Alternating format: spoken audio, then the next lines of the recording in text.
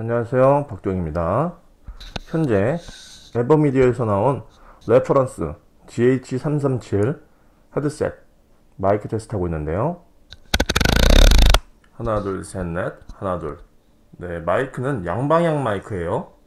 좌측 우측 그러니까 여기 앞에 있는 이 LED 나온 데가 좌측이고요. 여기 있는 이 귓볼 있는데 우측입니다. 하나 둘 셋 넷. 하나 둘 셋 넷 굉장히 편한 구도를 갖고 있어요. 굉장히 편한 구도를 갖고 있는데요. 하나 둘 셋 넷. 뭐 음악 감상한다.